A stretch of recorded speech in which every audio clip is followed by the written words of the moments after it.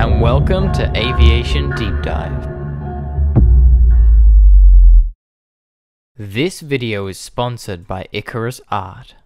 Finnish forces during the Second World War have gone down in history due to their plucky determination against the Soviet threat, and perhaps more specifically for their interesting use and modification of aircraft.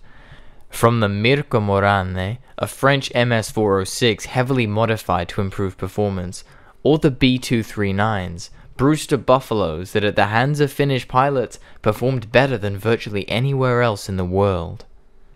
Not having a huge wealth of materials or aircraft, the Finns had to make very good use of what they had, which also of course included pressing captured enemy aircraft back into service and using them against their former owners.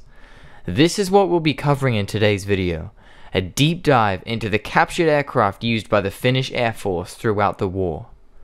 As there are quite a lot, and I have a pretty large amount of information to get through, courtesy of my helpful Finnish aviation expert Enegene, this series will be split into multiple parts, this episode focusing on the DB3 and IL-4. The Ilyushin DB3 was a mid-1930s Soviet bomber design, having undergone its maiden flight in the summer of 1935 and entering service with the Soviet Air Force shortly thereafter. It, along the Tupolev SB, would be two of the most common bombers during the early years of the war with the Finns, and over the duration of the Winter War, the Finns would actually end up taking stock of five of the aircraft that had made forced landings on Finnish soil. Somewhat humorously, the aircraft were originally repainted and given the code VP, for Vihollispommittaja, or enemy bomber in Finnish, although they would be later changed to a simple DB code. The first DB3, given the code VP101, was captured fully intact near Jauja after a forced landing due to running out of fuel. Given to Squadron 36 on the 29th of February 1940, the aircraft would be shuffled around a bit before ending up with Squadron 46. This aircraft would enter service with the Finns almost a year before the second captured DB3 did. But throughout 1941, from February to June, four more DB3s, repainted and repaired, entered service with Squadron 46. A fifth, marked VP-13, had also been captured, but had been sent to Germany in May, who wanted to get their hands on as many Soviet aircraft as possible for extensive evaluations before Operation Barbarossa. Squadron 46, with four DB-3s in their inventory at this point, would use the aircraft as bomber trainers in the intermediary period between the winter and continuation war, as well as giving some significant modifications to the aircraft. In partnership with the channel, Ikarus Art is a company that makes beautiful, exclusive aviation artwork, printed on canvas prints and posters. Whether you're into Catalinas, Corsairs, Stukas, or Spitfires, there's sure to be an artwork for your favorite aircraft, and if not, they're constantly adding new designs and art pieces to their shop. Their posters also feature the same artwork and start from just $10. If you're after something nice to hang on your wall and you're an aviation enthusiast, I'd highly recommend checking them out. Use code DEEPDIVE at checkout to get a discount. The batteries were switched to more reliable Finnish models, the right wing had two landing lights installed, the rear gunner received armor protection, and an improved compass and radio equipment were installed. Perhaps the biggest modifications, however, was the removal of the three leading edge wing fuel tanks, and the upgrade from the Tumansky M87 14 cylinder radials to the improved M88, which upped the power output from 950 horsepower to 1100 horsepower. You might be wondering how Finland managed to secure the newer improved M88 radials from a country they were at war with. In April 1942, engineer Major Vaino was supposed to order 17 M87 radials from the Reich Air Ministry, but under his own initiative ordered 40 of the much better M88s, quipping in a letter back from Finland, so I'll probably be hanged after arriving home as I made the deal without permission. The crews who flew the DB3s with an extra 300 horsepower probably appreciated his initiative, however. It's worth noting that these upgrades were done on a case by case basis and weren't necessarily standardized across all models or aircraft, so there was a fair amount of variance between them. The ideal aircraft with the M88 radials, better batteries, removed fuel tanks, would be a pretty significantly better performing aircraft than the standard DB3 of the time, having more power and being lighter. The vast majority of Soviet DB3s had the inferior M87 engines. By the time the continuation war broke out in June 1941, Squadron 46 was split into two flights. The first made up of three Bristol Blenheims, and the second with four DB3s. The outbreak of the war brought about extra responsibilities for the squadron, which had up until that point been using the aircraft as bomber trainers. The squadron would now begin reconnaissance missions and begin preparations to carry out bombing missions in the Aunus Isthmus and the Gulf of Finland. Just five days into the war, on the 30th of June, the Finns would lose their first DB3, though not to enemy fire. VP 11, whilst landing, suffered a fire that started on board. The aircraft crashed into a pond nearby, with all crew members surviving. Three days later, on the 2nd of July, another Finnish DB3 was cruising at an altitude of 7.5 kilometers, or about 25,000 feet, when one of the engines failed and the aircraft went into a spin. The mechanic and pilot went down with the aircraft, whilst the two other crew members managed to bail out. Unfortunately, one drowned, but the other survived. As such, Squadron 46 was left with only two DB3s, and when Squadron 46 was reformed back into a training unit on the 15th of July, it gave away its final Blenheim on hand, leaving just the two former Soviet bombers.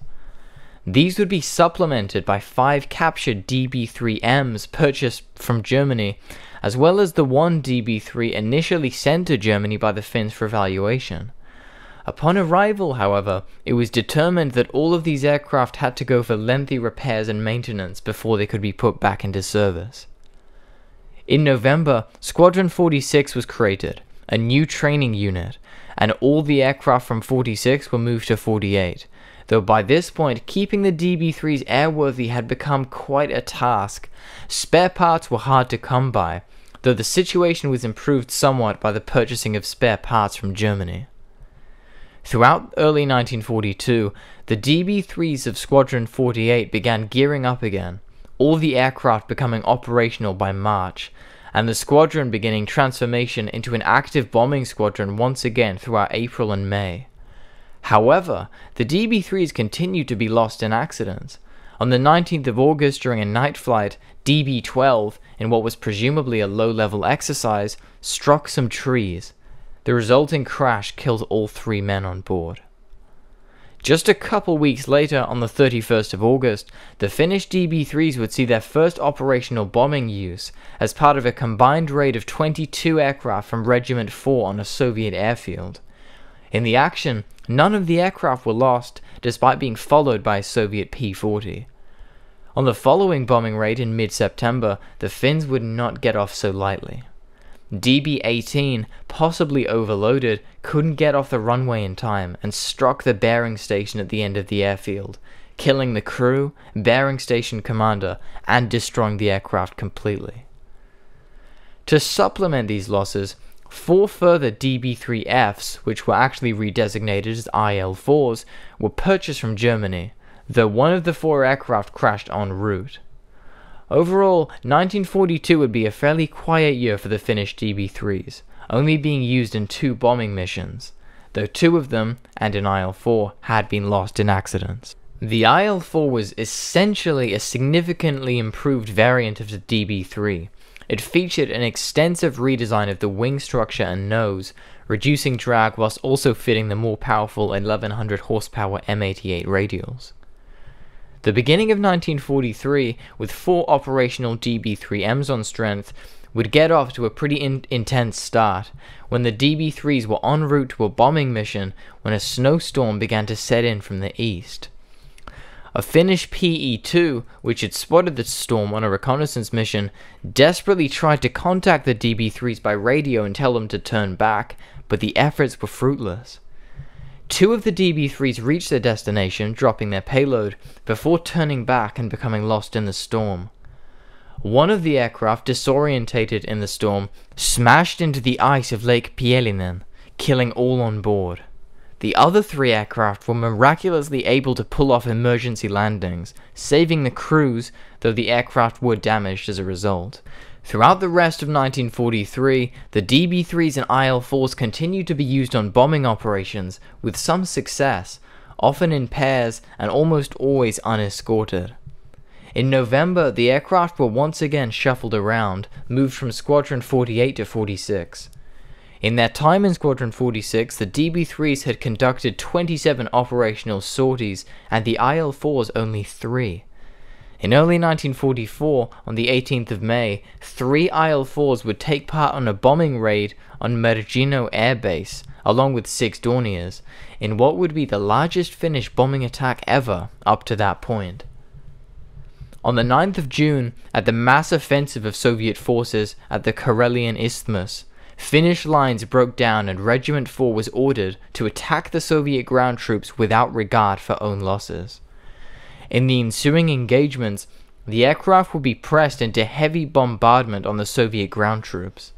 On the 13th of June, an assortment of seven Blenheims, two IL-4s, and two DB-3s attacked a detachment of troops, reporting, Pommitettiin kello 12.07-12.16 korkeudesta 1600-2500 metriä.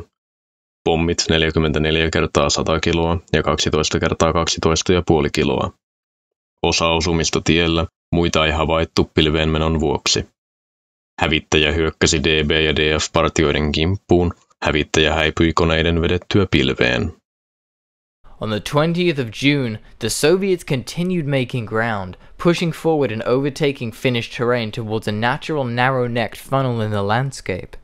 In the push, Finnish DB-3s and IL-4s continued their bombing attacks on the Soviet troops, the offensive finally grinding to a halt after two weeks of intense fighting. Just 10 days later, the record for the biggest Finnish bombing force ever was broken when 40 bombers, including a group of DB-3s, bombed a Soviet convoy, observing significant damage. By the time the continuation war was over in September 1944, the Finnish bombers had seen a fair amount of action against their former owners, but their job wasn't over yet, as the Lapland War, as Finnish troops expelled Germans from the country, kicked off. Winter was setting in, so missions for the aircraft became more sparse. The Air Force was also beginning to shrink as older types were taken out of service, and the captured bombers were an obvious first choice to begin being struck from service. The first DB-3 to suffer this fate was DB-19, flying for the last time on the 28th of February. On the 22nd of March 1945, the captured bombers, or maybe bomber would be more correct, saw its final mission where one DB3 and one Dornier bombed a German barracks. Throughout the remainder of 1945, the DB3s were steadily lost and decommissioned, the last in service, DB-13, flying for the last time on November 1, 1945, and being removed from service the same day. At the end of the war, the DB-3s and IL-4s had logged 2,425 hours of flight time with their Finnish crews, after being put through extensive upgrades and improvements, the former Soviet bombers had become serious assets to the handy and very materially efficient Finnish Air Force. Kept flying well into an era in which the bombers were undoubtedly outdated, the DB-3s and to a lesser extent the IL-4s had made up a not insubstantial part of Finland's bombing force throughout the war, and in a twist of fate not only used against the country that had built them, but later also used against the country that had sold them to the Finns. A huge thanks to my patrons on screen now for supporting the channel, and thank you so much for watching this video of Aviation Deep Dive. Consider liking and subscribing for more weekly content, and please also consider supporting us on Patreon. See you in the skies.